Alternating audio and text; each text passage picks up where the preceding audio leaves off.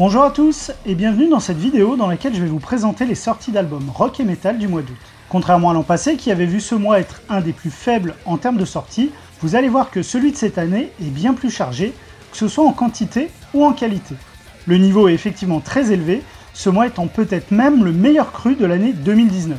C'est tout dire. Alors ne perdons pas de temps et démarrons tout de suite avec les sorties du 2 août. On démarre ce mois avec le groupe de deathcore américain Carnifex qui sort son septième album. On y retrouvera d'ailleurs un featuring avec Alyssa Whitegloss, chanteuse Dark Enemy. Autre invité sur la galette, le guitariste virtuose Anjot Vivaldi, qui vient du prog, ce qui devrait apporter un côté original à la musique de Carnifex. Pour cet opus, le groupe a confié la production à Jason Sukoff, connu pour son travail avec Death. Au vu des premiers morceaux écoutés, on devrait sans aucun doute retrouver ce qui fait la force du groupe depuis ses débuts. Des riffs d'une lourdeur extrême, associés à des passages plus mélodiques, créant avec ce mélange une ambiance sombre et angoissante. A noter que c'est l'artiste Blake Armstrong qui s'est occupé de la pochette, ce dernier étant un illustrateur de comics réputé dans le milieu. Tout semble donc réuni pour que ce disque soit une des belles sorties de l'été. Parlons hard rock maintenant avec les Allemands de The New Roses, de retour avec leur quatrième album, le troisième en 4 ans. On peut dire que les choses se passent plutôt pas mal pour eux jusque-là, puisqu'à peine la tournée avec Kiss terminée, les voici de retour sur les routes, en première partie de Scorpions.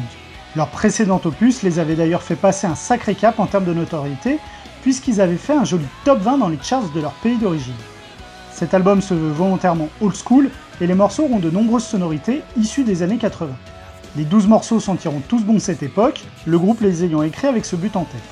Espérons que ces inspirations du passé laisseront quand même un peu de place pour de l'originalité. J'irai en tout cas y jeter une oreille. Le groupe de metalcore australien Northlane revient en août avec son cinquième album. Ce disque sera le plus personnel du groupe à ce jour, les thématiques des chansons tournant toutes autour d'histoires propres à chaque musicien de Northlane.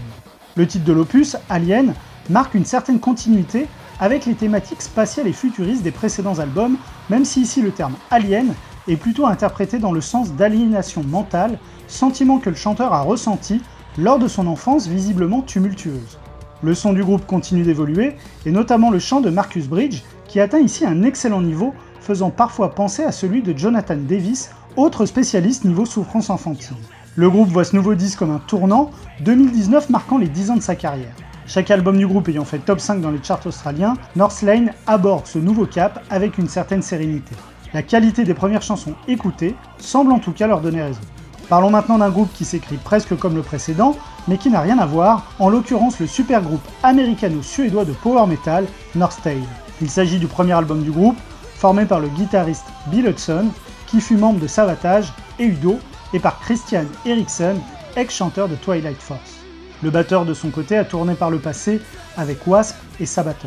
Sur le papier, c'est donc du costaud, et le résultat est plutôt sympa, dans la lignée des grosses sorties actuelles de Power Epic. Assez solide en tout cas pour que le gros label Nuclear Blast les signe dès ce premier opus. Une grande confiance en tout cas puisque le groupe a tout fait tout seul, le label ne leur imposant pas de producteur un disque qui plaira à coup sûr aux fans de Halloween, Sonata Arctica ou Stratovarius. Un groupe qui fera sûrement parler de lui dans les prochains mois, et ce disque sera en tout cas un de mes coups de cœur du mois.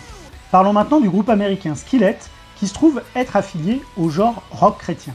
Côté style, on est dans le hard FM assez mainstream, avec un petit côté Papa Roach période moderne.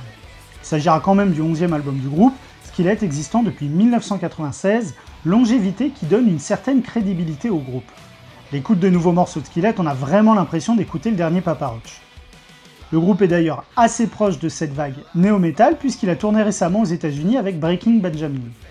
En tout cas, qu'on aime ou qu'on n'aime pas, il faut reconnaître que les compositions du groupe, tout en étant d'une extrême simplicité, sont sacrément efficaces et doivent vraiment bien sonner en live. Le groupe est clairement formaté pour les radios et les main stage. Skillet sera prochainement tourné avec Seven Dust, ce qui devrait continuer à leur donner un peu de visibilité sur notre continent.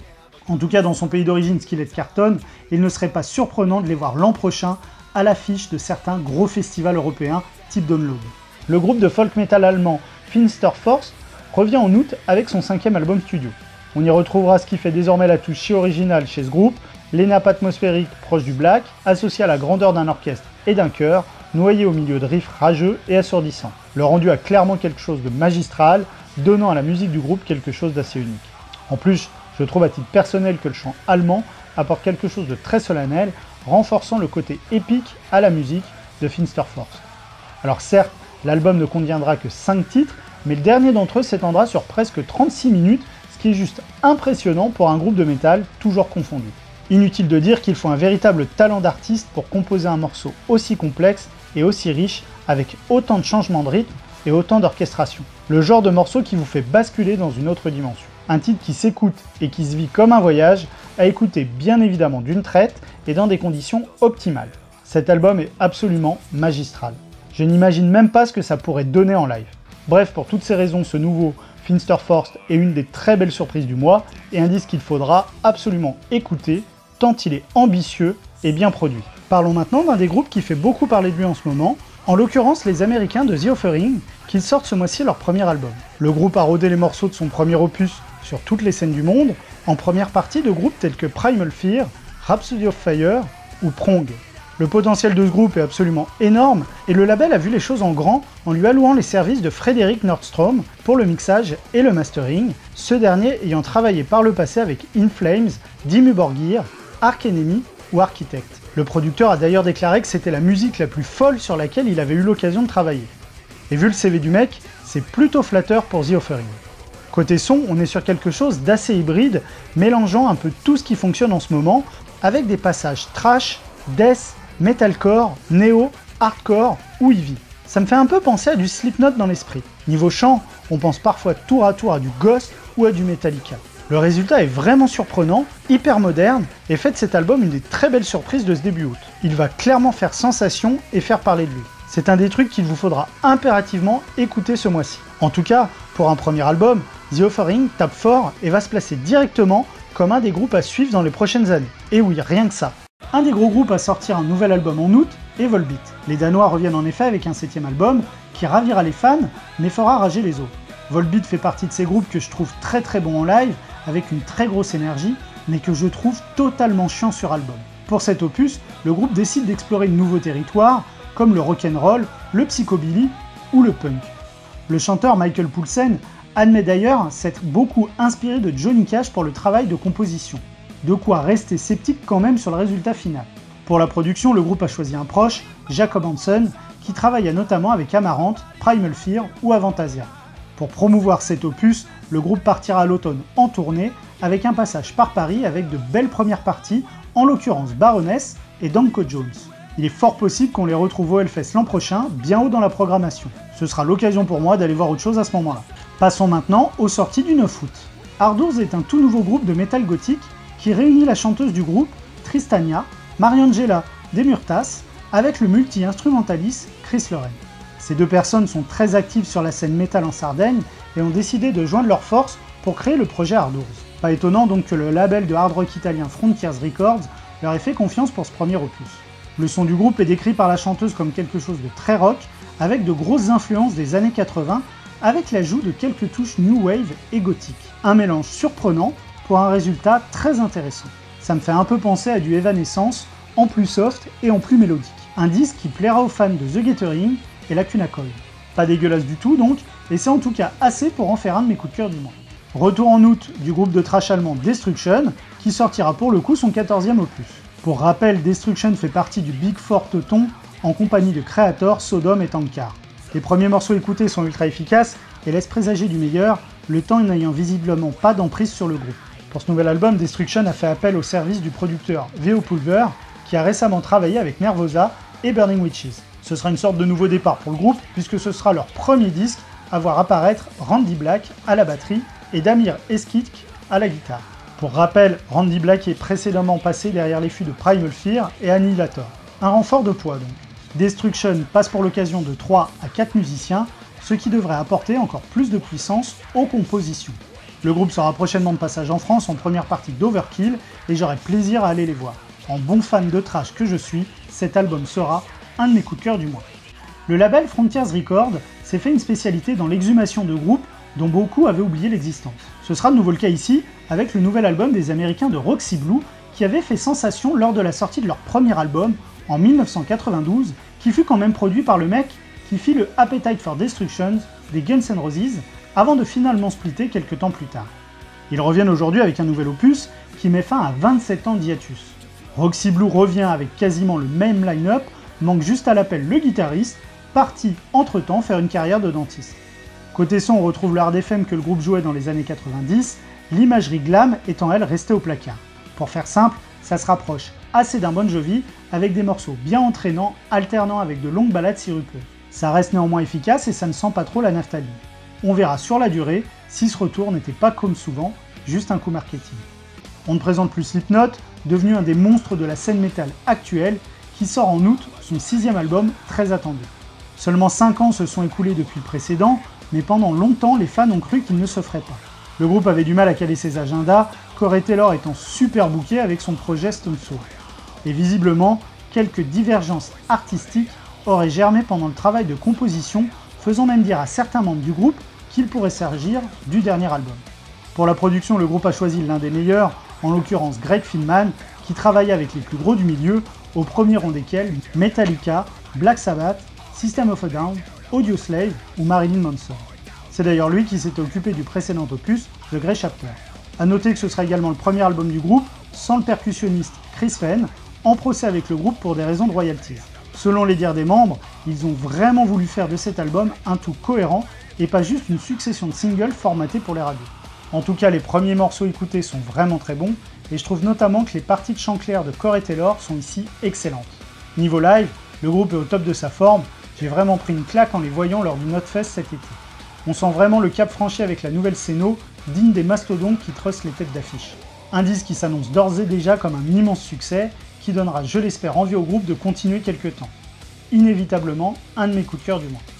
D'ailleurs, pour tous ceux qui voudraient avoir plus d'infos sur Slipknot, pensez à aller vous abonner sur la page Facebook Slipknot France, sur laquelle vous retrouverez quotidiennement des informations sur le groupe. Parlons rapidement du groupe canadien de post-hardcore Sparrows, qui sort son troisième album ce mois-ci. Ce groupe fait partie de mes très belles découvertes du mois, avec cette musique mélangeant les moments de rage avec des passages mélodiques absolument poignants. On sent une réelle profondeur dans les morceaux du groupe, et chaque changement de rythme déclenche de nouvelles émotions chez l'auditeur. La musique du groupe est globalement pessimiste, emplie de peur et d'angoisse, et on sent que les membres de Sparrows l'utilisent comme un exutoire pour leurs démons intérieurs. On pense d'ailleurs parfois à certains leaders de la scène emo, tels que Finch ou The Used. Il faut aller écouter ce groupe qui mérite clairement une plus grande notoriété un de mes gros coups de cœur du mois d'août. Frontier Records est clairement le label avec le planning de sortie le plus chargé en août. Et encore une fois, le label ajoute à son catalogue un comeback inattendu. Il s'agit ici de Spread Eagle, groupe de hard rock originaire de New York qui avait connu son heure de gloire au début des années 90 avec deux albums à succès sortis sur la major NCA. Ils avaient à l'époque été signés lors des répétitions de leur tout premier concert. C'est dire à quel point le label y croyait à fond. Leurs chansons tournèrent pas mal à l'époque sur MTV, mais le second album sera un flop et le grunge naissant finira de les rendre totalement has -been. Pourtant, le potentiel était immense, le premier album du groupe étant une énorme claque digne du niveau d'un Warrant ou d'un Guns N' Roses. Ce disque fut d'ailleurs nommé parmi les 20 meilleurs albums de glam de tous les temps. Bref, voir revenir le groupe aujourd'hui est surprenant, mais aussi intrigant. Les musiciens ont depuis pas mal tourné dans d'autres groupes célèbres, dont UFO, et je suis très curieux de voir comment ils vont sonner aujourd'hui. Du coup, j'en serais presque enthousiaste. À suivre de près donc.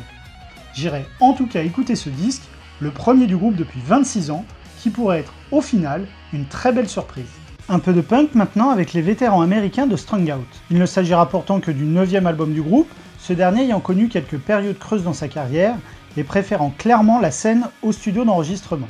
La musique du groupe est bien plus travaillée que bon nombre des autres du milieu, avec notamment un gros travail sur les mélodies. Pour la production de ce quatrième opus depuis 4 ans, Strung Out a fait confiance à Cameron Webb, qui travailla entre autres avec Motorhead, Megadeth et NoFX. Du solide donc. Le groupe est aujourd'hui considéré comme un des leaders du punk mélodique et se trouve être un des groupes phares du mythique label de Fat Mike, Fat Records. Le précédent album du groupe était juste magique et il ne fait pas de doute que celui-ci sera du même acabit. Fan du genre, je vais bien évidemment faire tourner ce disque en boucle sur ma platine. Une des belles sorties du mois à ne pas louper si vous aimez ce style. Changeons de genre maintenant avec un autre style que j'affectionne beaucoup, le trash, avec les Grecs de Suicidal Angels qui sortent en août leur septième album. La musique du groupe est toujours aussi efficace, les riffs puissants et le chant rageux à son. On pense beaucoup à du Slayer des débuts à l'écoute de ces nouveaux morceaux. Pour la pochette, le groupe a choisi le grand Ed Repka qui s'occupa de celle de Municipal Waste et Megadeth. Ce sera un album très personnel pour le groupe, les membres s'étant chargés seuls de la production. Côté mastering, c'est l'omniprésent James Bogren qui s'en est occupé, ses collaborations récentes avec Creator et Sepultura pouvant apporter un plus au groupe d'Athènes. le genre de disque qui déclenche des circle pits à chaque solo de guitare. J'espère en tout cas que le groupe passera en France pour la tournée de ce nouvel opus. Encore une très très belle surprise, et ce sera bien évidemment un de mes coups de cœur du mois. Enchaînons maintenant avec les sorties du 16 août. Les Allemands d'Equilibrium, qui pratiquent un folk metal parfois proche du death, sortiront en août un sixième opus qui fait office d'un véritable coup de poker. Avec ces nouvelles chansons, le groupe semble s'être quelque peu éloigné de sa recette d'origine en intégrant notamment de nombreux éléments électro, dont les synthés, qui sont beaucoup plus présents par le passé. Une stratégie qui ne plaira évidemment pas aux fans de la première heure. Ce virage est notamment marqué avec la pochette, avec ses motifs et couleurs totalement inhabituels pour Equilibrium. Même la typographie du nom a été changée. Il faut croire que le cuisant échec du précédent album a poussé le groupe à totalement se remettre en question.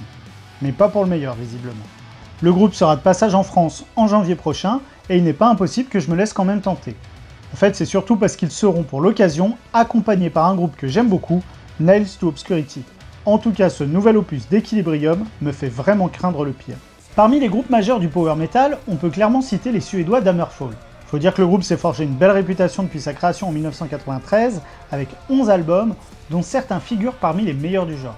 Il s'agira du second opus du groupe chez Napalm Records, qui lui a renouvelé sa confiance après le très bon Build to Last. Le résultat sera toujours aussi épique, et les premiers morceaux écoutés s'annoncent comme de véritables hymnes en puissance pour les prochains concerts du groupe. Pour ce disque, les membres disent s'être énormément inspirés du hard rock et du heavy de leur pays, notamment celui de la fin des années 80. Le premier single de ce nouveau disque est d'ailleurs un hommage à tous ces groupes qui les ont inspirés.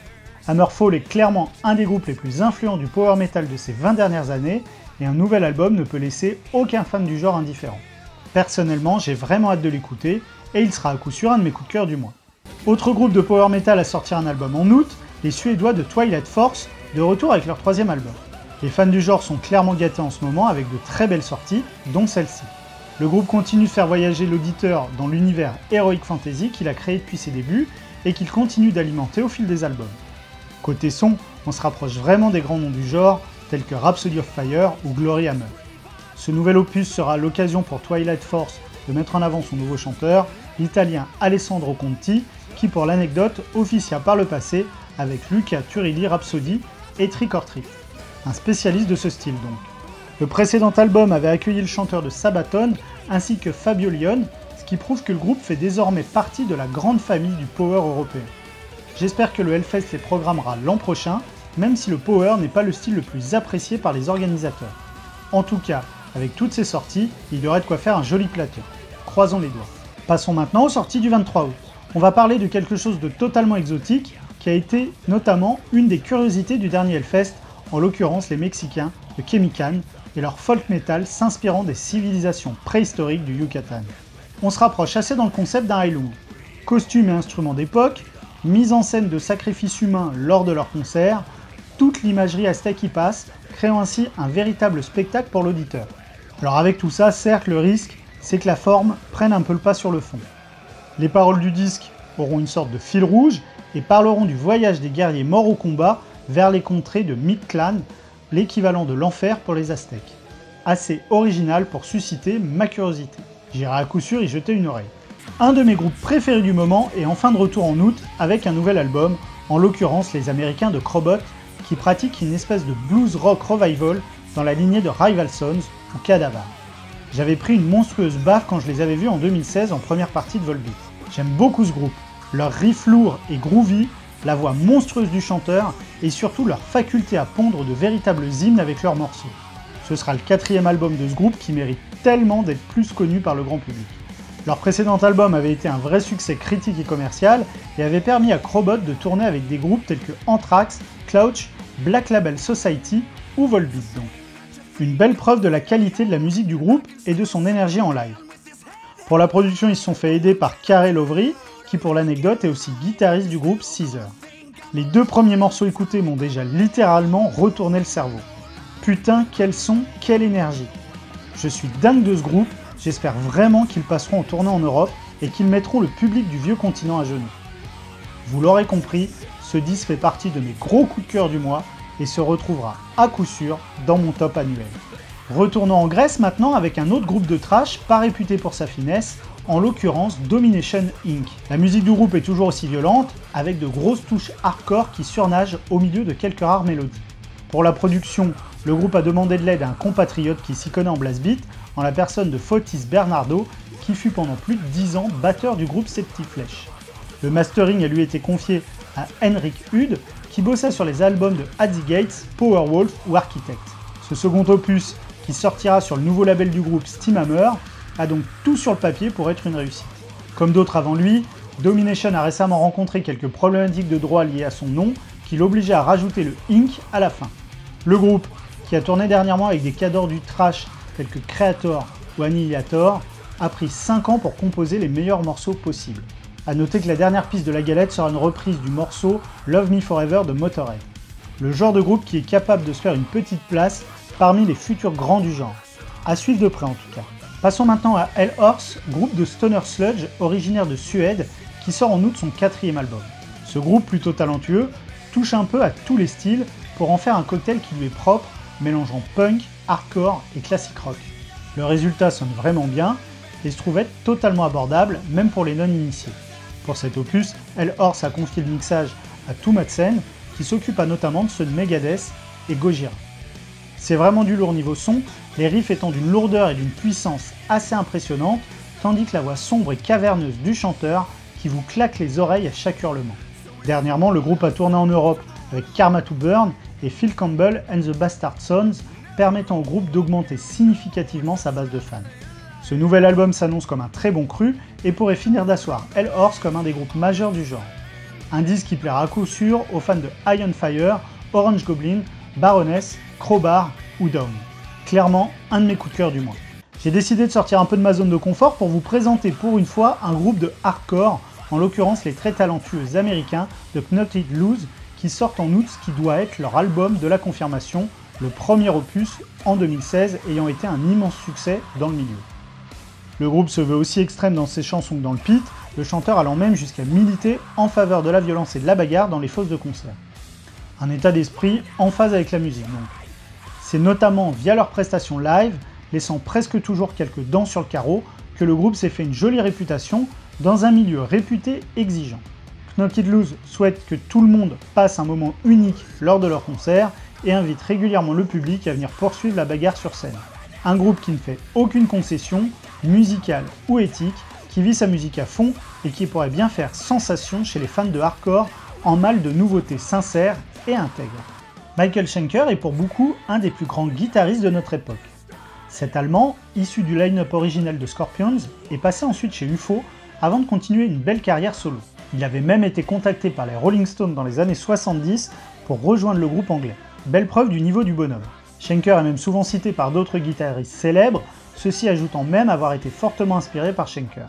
Parmi eux, citons Dave Mustaine, Kirk Hammett ou encore Randy Rhodes. Le mec est donc plutôt respecté dans le milieu. Schenker possède plusieurs groupes, un sous son nom propre et trois autres avec d'autres terminologies, Temple of Rock, Group ou Fest. C'est donc avec cette itération qu'il revient aujourd'hui pour un deuxième album. Et comme toujours, le bonhomme s'est entouré de grands musiciens pour le rejoindre dans ce projet. On retrouvera notamment sur un titre le chanteur Ronnie Romero, qui tourna avec Richie Blackmore. Graham Bonnet, le chanteur du groupe, qui avait sorti un album avec Rainbow, sera encore de la partie. A noter que cet opus aura une saveur particulière puisque le batteur du groupe, Ted McKenna, est décédé lors d'une opération bénigne, peu de temps avant l'enregistrement du disque. Côté son, on retrouvera comme toujours la qualité des compositions de Schenker, des mélodies très heavy, associées à de gros solos de guitare, dans la continuité du premier album. Exactement ce que j'aime. Ce disque sera donc un de mes coups de cœur du mois. Autre album de trash à ne pas louper fin août, le nouvel opus des Américains de Sacred Reich. Ce cinquième album est un petit événement puisque le groupe, véritablement culte dans le milieu, formé en 1985, n'avait plus rien sorti depuis 23 ans. Inutile de dire que les fans l'attendent avec impatience. Le groupe a souhaité conserver la recette qui fit son succès à l'époque, celle composée de riffs groovy, de solos accrocheurs et de paroles aux thématiques sociales. Les deux nouveautés côté line-up sont le retour du batteur Dave McLean et l'arrivée d'un tout jeune guitariste de 22 ans qui n'était donc pas né lorsque le dernier album de Sacred Reich est sorti. Il viendra apporter son côté fougueux au reste de l'effectif. Pour ce comeback, le groupe a choisi le producteur Arthur Risk, qui travaille récemment avec Power Trip et Cavalera Un mec qui s'y connaît en moissonneuse-batteuse. Sacred Reich a voulu faire plaisir aux fans qui ont depuis toujours soutenu le groupe en sortant un disque proche des origines, avec un côté old school. Une approche qui pourrait donc se révéler gagnante. Sacred Rage sera en concert en France en compagnie de Night Demon en novembre, et c'est un des concerts que j'attends avec impatience. Une belle grosse bagarre en perspective. Terminons enfin avec les sorties du 30 août. Les Allemands d'Imperium Decadence pratiquent un black atmosphérique de haute qualité. Initialement signé chez Season of Mist, le groupe a franchi un cap en rejoignant pour ce sixième opus l'écurie Napalm Records, ce qui devrait lui assurer une plus grosse visibilité et une meilleure distribution. Pour la production, le groupe s'est vu allouer les services de Christophe Brandes, qui travailla notamment avec Finster Frost. La musique du groupe est vraiment très sympa, avec certes ce chant propre au black metal dont je suis pas forcément fan, mais avec surtout une magnifique mélodie tout au long des morceaux, rendant le tout vraiment planant. Ces moments qui tirent parfois vers le post-metal rendent la musique du groupe vraiment bouleversante. Pour certains, le groupe se rapproche assez d'un Nagaloche ou d'un Empyreum. Mention spéciale pour la pochette, réalisée par Alejandro Tedin, que je trouve absolument sublime. Le groupe aborde cette nouvelle partie de sa carrière assez sereinement, le dernier album en date l'ayant confirmé comme un des meilleurs de son pays. Une belle découverte pour moi, clairement un groupe que j'irai voir en live s'il passe dans le coin. Il y a des sorties d'albums dont je ne m'enthousiasme pas une demi-seconde, mais dont il me faut quand même vous parler au vu de la notoriété de l'artiste, comme ici avec le nouvel album solo de Tarja Turner. L'ancienne chanteuse de Nightwish le décrit comme plus sombre et plus vite que le précédent qui était sorti en 2016. J'avais fait l'effort de l'écouter à l'époque et j'avais trouvé ces morceaux solo de la chanteuse absolument insipides et je pense que ce sera de nouveau le cas ici. Autant je respecte énormément ce qu'elle a fait avant avec son groupe, autant je trouve que sa carrière solo relève du scandale total. Son concert au Hellfest en 2016 ayant été un des plus chiants auxquels j'ai eu la malchance d'assister de toute ma vie. Alors comme on dit, il faut laisser sa chance au produit, et en disant qu'il serait difficile de toucher le fond deux fois de suite. Quelques guests de choix viendront l'aider à éviter le naufrage, parmi eux Björn Street de Soilwork, Christina Scabia de Lacuna Coil et Tommy Karevich de Camelot. C'est toujours sympa d'aider une copine qui est dans la galère. Mais je suis pas sûr que cela suffise à en faire un bon album. Bref, à moins que vous soyez des fans totalement aveugles et sourds pour le coup de la chanteuse, passez votre chemin. Le groupe de power metal autrichien Vision of Atlantis sort en août son septième album, un an à peine après le précédent. Pour rappel, c'est la française Clémentine Delaunay, ex-Serenity, qui tient le micro depuis 2013, cette dernière étant notamment une des membres fondatrices de l'association Sounds Like Hell qui organise les concerts métal sur lieu. Du coup, forcément, les groupes de l'écurie Napalm, label sur lequel est signé son groupe, tournent régulièrement dans la région Rhône-Alpes, et c'est tant mieux. Le groupe semble visiblement vouloir surfer sur le succès de son précédent opus, puisqu'un live est sorti il y a quelques semaines à peine, ce qui fera donc trois sorties en un an pour Vision of Atlantis. Ce nouvel opus marquera d'ailleurs l'arrivée d'un nouveau chanteur, Michele Guettoli, la passation ayant été faite de manière amicale lors de la dernière tournée. Le groupe annonce vouloir continuer avec le style amorcé avec le disque précédent, notamment sur le côté symphonique. Les prochains mois seront donc chargés pour le groupe, l'année 2020 marquant ses 20 ans, anniversaire que Vision of Atlantis fêtera à coup sûr avec ses fans. J'ai hâte d'écouter cette nouvelle production, la voix de Clémentine étant vraiment envoûtante, tout comme la musique de Vision of Atlantis. Parlons maintenant de Wage War, groupe de metalcore américain qui s'apprête à sortir son troisième album. Le titre de cet opus, Pressure, fait référence à celle ressentie par le groupe lors de son enregistrement, les enjeux étant visiblement importants avec ce dernier. Il faut dire que le groupe a grimpé très vite les échelons, la presse spécialisée classant dès le second opus la musique du groupe comme étant l'une des plus novatrices de 2017. C'est d'ailleurs ce qui lui permet d'ouvrir pour des pointures telles que August Burns Red ou Every Time I Die. Le groupe a choisi Drew Fulk pour la production, lui qui travailla précédemment avec Motionless in White. Un disque qui pourrait bien marquer un tournant pour Wedge War, surtout si le résultat est au niveau de la pression qu'il s'est mis pour l'écrire. Personnellement, je trouve que ce style tourne un petit peu en rond et toutes les productions se ressemblent. J'espère néanmoins que ce disque me fera mentir. À réserver néanmoins aux fans du genre. Entomb AD, ex-croissance depuis 2014 du groupe de death suédois Entomb, continue son aventure avec en août un troisième album. Il s'agira visiblement de la production la plus brutale du groupe à date, ce dernier l'annonçant, je cite, comme plus rapide et plus violent. Ce nouvel opus marquera l'arrivée du guitariste brésilien Guilherme Miranda, qui tenait à l'origine la six cordes dans le groupe Crow. Autre changement de line-up, le bassiste est parti et n'est à date pas officiellement remplacé. Pour le moment, c'est le guitariste du groupe Grave, Tobias Christiansen, qui dépanne pour les concerts. On verra une fois le disque en main dans quelle mesure les derniers changements de line-up ont impacté le travail de composition du groupe. Entomb AD partira l'automne en tournée, accompagné d'une cotette d'affiches qui fait aussi dans la finesse, abortive. Prévoyez donc quelques pansements si vous allez les voir, c'est le genre d'affiche qui peut laisser des traces. En tout cas, le niveau est très élevé, les mecs étant tous des vétérans de la scène Death, et ce disque devrait à coup sûr satisfaire les fans du genre. Dernière sortie pour ce mois d'août et sûrement une des plus attendues et des plus importantes de l'année, celle du cinquième opus du groupe Tool. Faut dire que le précédent date de maintenant 13 ans et les fans n'en pouvaient plus d'attendre cette nouvelle production, sans cesse repoussée par le caractériel James Maynard. Pour l'anecdote, il aura fallu plus de temps à Tool pour sortir ce nouveau disque que la durée totale de la carrière de Led Zeppelin. Ouais, ça calme. Autant dire qu'il a intérêt d'être mieux que le Chinese Democracy des Guns N' Roses, autre disque que les fans avaient dû attendre pendant des années. Ce coup-ci, c'est enfin la bonne, le groupe ayant écumé les festivals cet été, dont le Hellfest, pour préparer au mieux l'arrivée de ce serpent de mer. À l'heure où j'enregistre, aucun morceau officiel n'est dispo, donc difficile de se faire une idée. Mais les plus impatients ont quand même eu quelques titres live dispo sur YouTube à se mettre sous la dent. Par contre, on peut d'ores et déjà noter que le groupe a changé son logo, il l'a annoncé sur ses réseaux sociaux ces derniers jours. En tout cas, ce sera clairement l'événement de ce 30 août, et nul doute que l'opus sera un immense succès commercial. Car même si ce groupe est très clivant, son aura et le mystère qui entoure ce disque suffiront à le faire vendre par wagon entier. Mais qu'on l'aime ou qu'on ne l'aime pas, il faut reconnaître à James Maynard un certain génie, et il ne fait aucun doute que ce disque sera au niveau attendu. En tout cas, j'ai vraiment hâte de l'écouter. Donc pour résumer, les 10 albums qu'il faudra selon moi écouter en août sont le premier album de North Tale, le premier opus d'Ardours, le nouveau Destruction, le sixième album de Slipknot, le troisième opus de Sparrows, le nouveau Suicidal Angels, le nouveau Hammerfall, le quatrième album de Crobot, le nouveau Hell Horse et le nouvel album de Michael Schenkerfest. Voilà, cette vidéo est maintenant terminée. Merci de l'avoir regardée jusqu'au bout. J'espère qu'elle vous aura donné quelques envies d'écoute. En tout cas, moi, j'ai de quoi tenir jusqu'à la rentrée. Comme toujours, si elle vous a plu, n'hésitez pas à la liker et à la partager. Pensez également à vous abonner à la chaîne et à cocher la cloche pour recevoir des notifications lors de la sortie des prochaines vidéos. Pour continuer la discussion, pensez aux réseaux sociaux de la chaîne, en l'occurrence Facebook, Twitter et Discord sur lesquels je suis plutôt actif. Je vous dis à dans un mois pour les sorties de septembre, ne prenez pas trop chaud sur la plage, et d'ici là, comme toujours, je vous souhaite à tous de très belles découvertes musicales.